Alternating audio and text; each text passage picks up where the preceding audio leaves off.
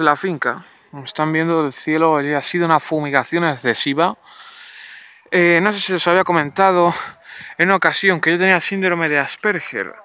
Y esos cambios de clima, es como un tipo leve de autismo, nos afectan, la de Dios, para quejarnos con la gente que anda fumigando y echando porquerías. Ah, que nos sube el roquito.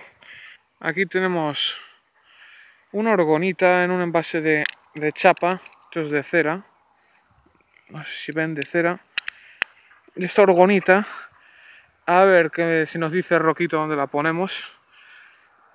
Hemos puesto otra en unas barras que hay por ahí, que son como estas, para que eh, empiece a disolver el centrail y pues se borre con el tiempo. Estas son de piedras de acuario con cera, la verdad es que es un mazacote y pesa un montón y es duro de, narices, hay que poner un sitio donde no haya sol para que no se funda, para que dure muchos años ahí instalada. Bueno, aquí se ve un poco el panorama de la finca, las ovejas.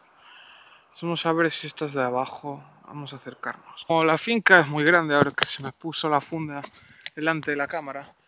Y bueno, pues vamos a ir poniendo en este otro lado, ya se han disuelto un poquito por allí, eh, porque esa parte de la finca ya hemos cubierto.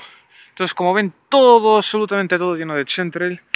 Entonces, cera de vela, fundido con cristales que son como unas piedrecitas de acuario envueltas en envueltas dentro de de aluminio y, luego metidas dentro de la cera es una caja de hierro de aluminio vamos a meterlas aquí esta me parece en muy buena parte ¡Ah, fastidio!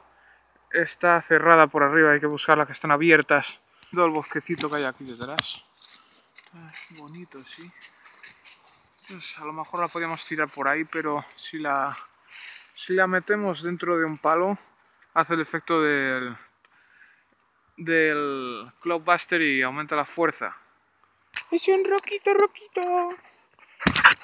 Bueno, pues hoy porque están todas cerradas pero yo quiero que vean la parte que no ha sido grifeado y donde hemos ya puesto cómo se está disolviendo el central por esa parte de la finca. Vamos a seguir buscando un sitio donde colocarlas, que no casque mucho el sol y que sea un buen sitio, incluso la finca de al lado. Estas vástagos que hay por el suelo. Los palos, mira, es muy bueno para colocarla. Y que vayan de forma inteligente colocándolas por los diferentes sitios donde va a ir cubriendo las zonas. Porque tienen un, rango de alcance limitado y así se van ayudando entre ellos y quiero que vean cómo todo esto está deshecho ya. Con la, la otra que hemos puesto que era, que era parecida, era casi igual a esta. Que era como la que les enseñé pero esa no tenía carcasa. Les enseñé que en uno de los routers que las poníamos encima que era grande se queda así como rajado. Ese está limpiando el cielo. Sin embargo, esta parte de aquí, que no tiene nada, como está de fumigación. Eso me pone como el ambiente pesado, que cuesta mucho moverse. Vamos a ver dónde colocarla. La semana que el señor de aquí de la finca está, pues ha puesto tapones en todas las... porque si no, podríamos poner una por cada tapón y tenemos aquí eh, eh, un ejército de orgonitas luchando contra la polución del cielo. Oh, sí, muy bien camuflada que está. A ver si no está cubierto. Ah, está cubierto también.